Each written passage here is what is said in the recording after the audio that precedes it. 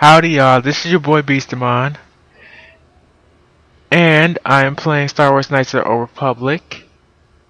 And currently we are sitting right in front of some lower city apartments. And we're gonna see what's in here and what other tasks we can do. Um, because eventually we are gonna have to um go to Hidden Bek base. So let's see what's behind door number one. Oh wait, Carth has to open this. Whoa, whoa. Okay, so this is the uh, Twi'lek I was talking about. We have to help him. So you could be stupid here and say I'm here to rob the place. Well, it's not really stupid, but that's not what I'm to do. Um, or you could just be mean and um, say you're to collect the bounty on his head. But I'm to ask him, uh, like, what is he doing in here and stuff.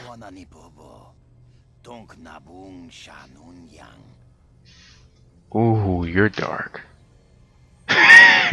okay, I'm sorry. Um, I just read this persuade line as um.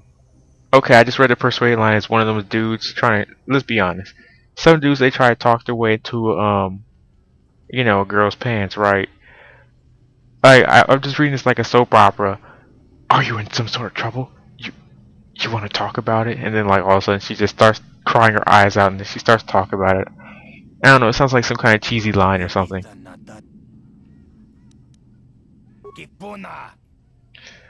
So yeah, unfortunately, um, hold up. I'm gonna save here just in case something happens. So yeah, um, I'm playing this game, uh, kind of the opposite of the way I would normally play it.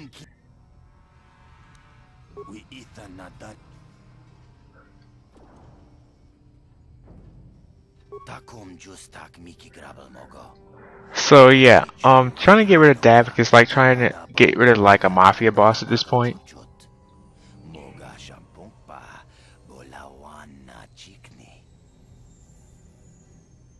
So maybe you could pay him off. Well, maybe you can fake your own death.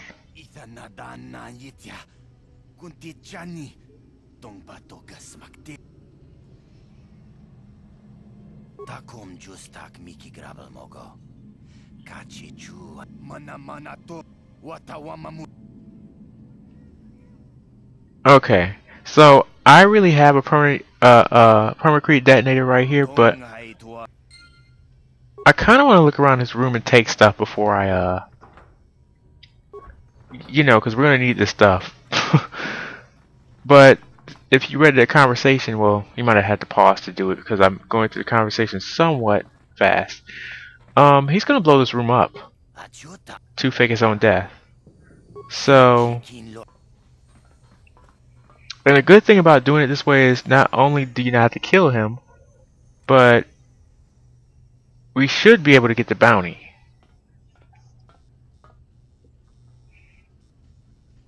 So it's like, why get your hands messy if you don't have to?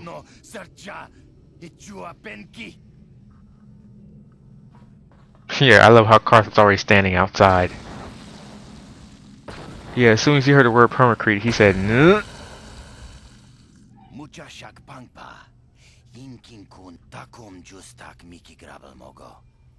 Kachi chu ai thao donga mol tuam gigi yumalithpa yeah, so you get light side points for that. So yeah, we wouldn't be able to walk in here if we wanted to. He said don't walk in here because, you know, it could cave in on your head. There really isn't a point to uh, do that. So let's keep it. Uh.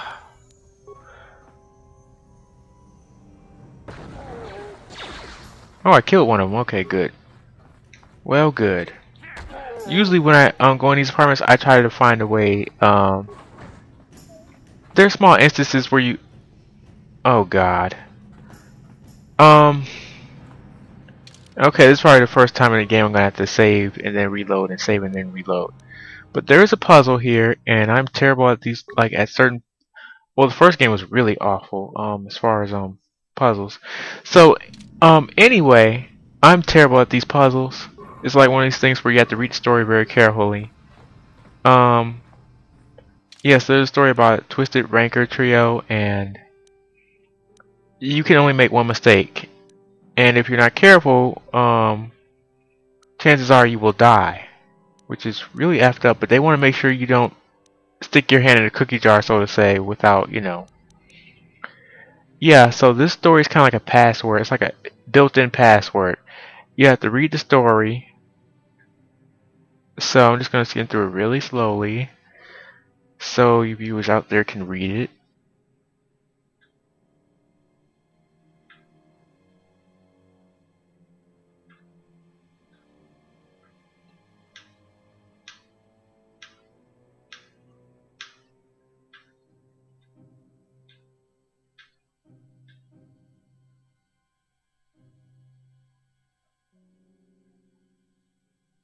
Okay, uh, yeah, you're gonna have to, um, because this is a very long story. Okay, so yeah, I'm, I'm saving because I know I'm gonna mess up, but I really need the items inside here. So yeah, this is one of those parts of the game where I would do a little cheating. A little of a lot of cheating. so really it's not a little, it's a lot of cheating. Let me see. Um, so yeah, pretty much it's gonna tell you what you have to do when you try to open up the crate. So yeah, you have to activate it in the correct order or boom. So yeah, pretty much it warns you what's going to happen and Oh yeah, I can't do that because uh Oh yeah, I can, okay. So I'm going to have Carth down here in case I make a mistake because um yeah, the blast is so close that um you know my character might die and I need Carth just to be there just in case, you know, some enemies come up on me or something. So yeah, you have to stand next to these and highlight them in the correct order. And I am not good at this at all. Um, don't even remember how to do this. And they warn you, um, if you do this wrong, they will warn you. Yeah, so they warn you. Okay, that was wrong. So that's pretty much how it works. So This is what happens. And you blow up in... Okay, how did Carth get hurt? Wait, where is he? Oh shoot, is he fighting someone? Yeah, I think Carth is fighting someone. Oh no, he's standing outside like an idiot. Okay, so yeah. Um...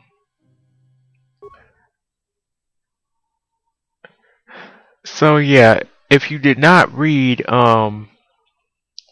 Here we go again. If if you did not read an intro vid, um, yeah, I'm not one of those um people that do LPs do it 100%. I mean, that's like the main part of you know what I'm trying to do, but I don't always do it. But at least I'll try to show you like every you know mode in, in a certain game. But this game is one long story, so I'm showing you the story. Or less noted otherwise, like the last project where I said I'm just doing it half baked. So yeah. Okay. Okay. So yeah, they let you know it's not correct. And of course I messed up again. So this is probably a game over right Oh wait, no it's not. Okay. Surprisingly it's not. So yeah, this will take me a few tries and if worse comes to worse I will just edit out all the mistakes. Because I don't remember how to do this. I remember she's the first one though, that's all I remember.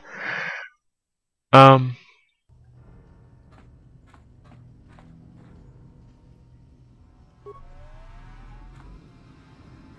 Let me see.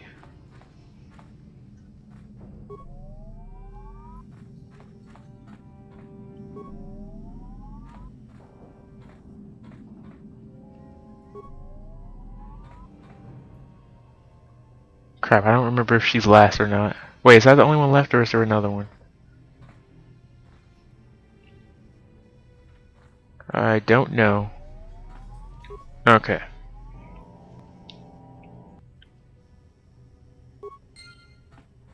Okay, so yeah, pretty much it opens up when you click it.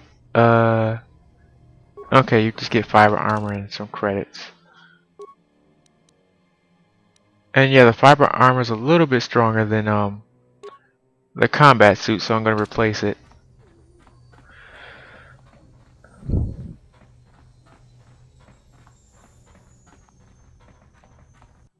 Oh yeah, let me say that too, because I don't feel like doing that again.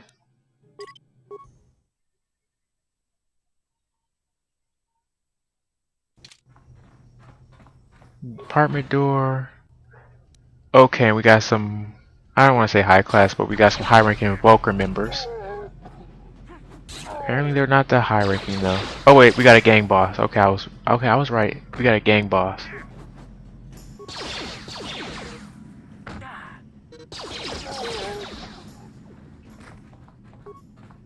Yeah, so if you're if you're um a good Samaritan, don't expect to have a lot of money in this game. What I mean is pretty much um being a nice light type person, you will be broke. So just keep that in mind. That's why, you know, that's another reason why I have to scramble, you know, to do all these extra favors and stuff. Well, these extra quests as they're called. Don't like using the word favors in that context because, well, anyone who's above, you know, a certain age know what favors mean. As far as saying you're doing favors for people. So yeah, I know I'm using a repair spikes and I don't have enough to do all this, but I like to use them anyways. Um,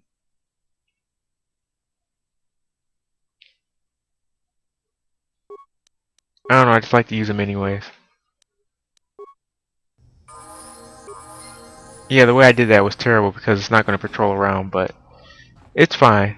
Mainly I just did that for the experience points. Not because I actually need that droid because honestly, um, I'm doing the opposite of um how I normally play this game, just to see if it will make a giant difference. Um, and with your companions, it doesn't matter whether you level up, level them up or not. Um, usually I auto level them up because I don't have any preference of how they do. Because you know the game's most likely customizing them. I mean, you can if you want to customize them, but I mean, I just don't, you know, I for some reason I don't see the point. Now, if it was me, on the other hand, yeah, I want to customize myself. I don't want the game to do it because they're always going to pick a certain preference over the one you you might pick. They might pick your, uh, the preference of the class, and I may want to be a little bit different. So yeah, for example, I'm a so I'm I'm a soldier, but I want to have uh I want to have persuasion. So yeah, normally um, soldiers and persuasion do not go together. So yeah, that's why I wouldn't um you wouldn't auto level up. Yeah, so there's the um Bek base. We will have to go there. But I don't want to do it just a second because there's some interesting things that happen down here. And of course, there's some more um, Vulkars. So I'm gonna throw a grenade at him. I like doing that in the running, but um, well, not here, but um, down there I do. And there's kind of a reason why I do it because, interesting en enough, if you fight against anybody, most of the time, um, like when you fight against somebody, yeah, I do, I do it down here, but um, when you fight against somebody, everybody else tries to help you. So it's kind of funny to do that. Oh, that's right. This is a cutscene. What do you, uh, you think just because you're in some gang, you don't have to give Davik his cut?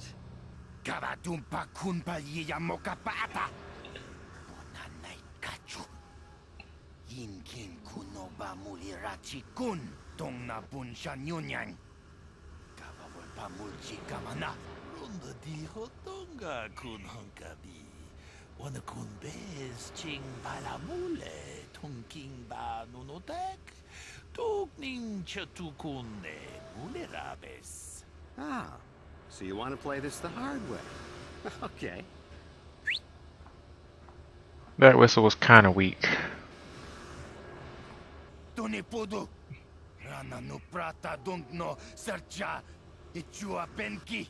Watana wa mamulira. Kenchun tu parshak. No wa bule mulira ji jonitun turji chiwi itato. Bola una dichek. Palamures limo wanga kun bisching. I knew you boys would see reason. Now get out of here. Too bad. I was looking forward to cracking some heads. Maybe next time, Canderous. I better get this over to Davik. I'll call you if anyone else gets behind on their payments. Okay, so if you're fast enough, uh, you can ask this guy for some stuff. Well, about some stuff rather than for some stuff. Being in that pathetic little gang of theirs makes them important. Gadon keeps his hidden Beks in line, but Brejik's getting dreams of grandeur. If Davik's smart, he'll slap that young punk back down. uh,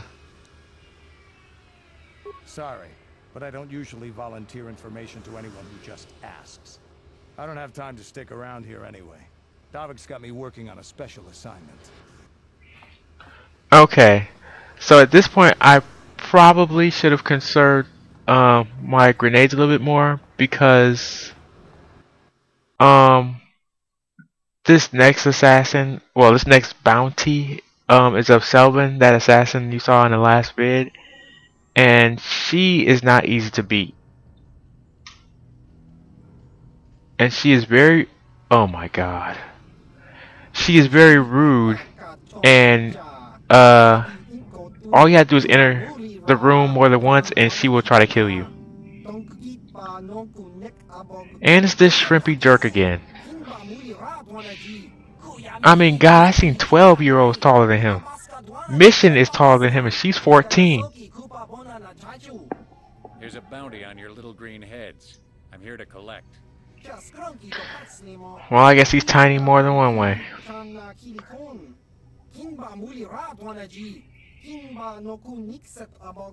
That's the plan.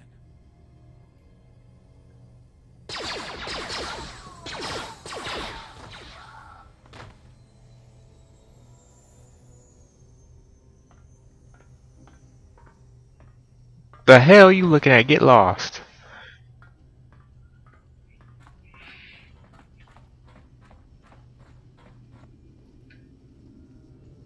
Okay, yeah, see right here you can get away with if you're fast you get away with throwing a grenade at them and then making them angry and then running or something or I don't know. I just do that on purpose. So yeah, and here it gets really hot and heavy as far as um battling. Um, it varies from game to game. Since I'm a soldier, it's not as hard as if I was a scoundrel. Because scoundrels don't fight well. Up! And here's our first instance of uh, demolition skills. Oh, I keep pushing the wrong button. And we have something new. We have an energy shield. Um, which I will equip. And I might as well equip Carth with one. So your energy shields there are in the sixth slot with um the medical stuff. And you can equip them and it will protect you from 20 points of electrical or energy damage. And we have something else, armor reinforcement, which you can use at any workbench. Unfortunately, there's not a workbench in here. So, I mean, and let's see, as far as demolition skills, Carth does not have any. I have very little. Sure.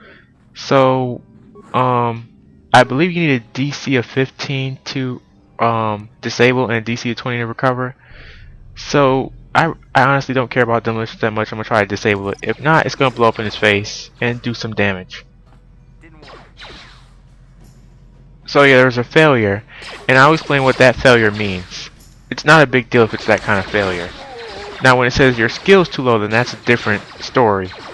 Failure usually means that your roll, because whenever you do any kind of task that requires your skills, it requires a roll. So if your roll isn't high enough, it doesn't mean you can't do it, it just means your roll was low. You will get a roll between 1 and 20. So his roll could have been like a 1, and the DC's 15, so his base and his and a mod could have been lower than 15. Well, lower than yeah, lower than 15. So usually by the second and third time, it will let you know if you can't do it because you know any anytime there's a failure, your skill um the next time you roll, your skill will be higher. So I know you're like, what? You didn't talk about a roll. I'm trying not to because it's in the background mechanics of the game. You won't even notice it most of the time. But it has something to do with um because every um whenever you attack somebody, it does depend on your stats, but that's uh, that's also in um how should I explain this? Your roll um your stats are dependent well your attributes are dependent on your role. and some of your skills may modify that by adding saving throws like fortitude um will and what's the other one? Sorry. Fortitude will and reflex. And by the way i'm going to try to explain this. Fortitude reflex and will are all saving throws. Saving throws help um, prevent other well other people like um enemies like Sith or what whatever else have you from um doing damage to you. So yeah, your fortitude wait, your will is based on your wisdom. Your reflex is based on your dexterity and your fortitude is based on your constitution. So if like say for example down the line we meet a dark Jedi and he uses, you know, a force power that affects constitution, so your base roll, your mod, like any, and when I say mods, it could be anything like any equipment you have, or you know, anything that's embedded within your outfits. But we'll get to that because I know it's it's confusing at this point. But um, that's how it works. So yeah, a 42 to 5 will be added to your roll if you know, there was a check against your constitution as far as somebody using force powers on you. So yeah, that all contributes to saving throws. But I don't want to get too much into that because it's confusing, it's really crazy. So here's another um puzzle. This puzzle is um about this boy and you have to read in between the lines when you read this. So it says Hey Elam, how's life in Taris? I heard your brother left for Tatooine to become a miner. Did he at least leave hyperdrive behind to keep you company? I hope you're still practicing with that blaster I gave you. Remember I taught you because you might need it. Taris isn't like Alderaan. It can be dangerous there. And then it says, stay away from those swoop gangs and um oh, and keep everything locked up in that old strong box. Nobody's gonna be busting into that thing. Hope to hear from you soon, Uncle Louie. Well, Elam's probably dead. So yeah, you have this minor gas mine. Now you want to be careful because if you're not careful, it can poison you. Chances are my character will get poisoned, but, you know. Okay. So this is a password. Um, you can try to enter, we'll try to enter password. So it asks, what's the name of your pet? The answer is Hyperdrive. And who taught you to fire blaster? Your uncle and you originally came from Alderaan. So yeah, they identify you as Elam, and you get a Republican mod armor, um, blaster pistol, and 100 credits, which I could have used a while ago. Okay, um, so okay, they're both upgradable, so I'll just keep that. Okay, now I'm pretty sure this next room. Oh, we gotta fight Vulkars first. Wonderful. Now, I'm pretty sure either this room or in the next two rooms houses Seven, one of the dangerous assassins on Taris. And chances are, um, I might be down for the count. So yeah, there are certain parts of the game that are, well, with this game there are um, certain parts of the game that um, the difficulty kind of peaks even if you're at the easiest difficulty. Um, this could be one of those times depending on what classes you chose, how you upgraded and all that other stuff. So yeah, with me, um, I'm not the best Star Wars Knights of Republic player, obviously, because number one, I play on easy. But yeah, um,